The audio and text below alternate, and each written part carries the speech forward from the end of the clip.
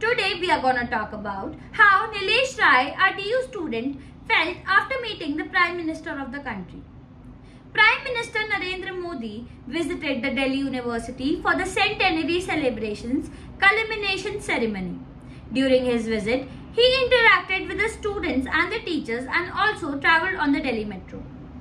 Nilesh Rai, a student from Delhi University, had a special conversation with the Prime Minister. He expressed his surprise as he saw the Prime Minister in front of his eyes as the metro door opens. The Prime Minister greeted everyone and asked about their well-being and the states they came from. It was an exciting moment for Nilesh and a memorable experience. Nilesh Rai shared that the Prime Minister had discussion with everyone on the topic of employment during his interaction.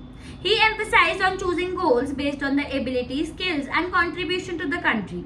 The Prime Minister encouraged everyone to stay determined for providing jobs to a greater number of people.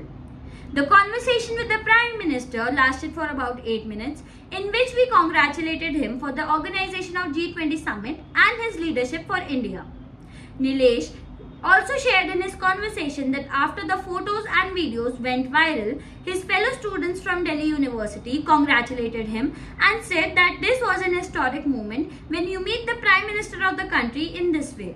Later, his relatives and family called and asked about the meeting.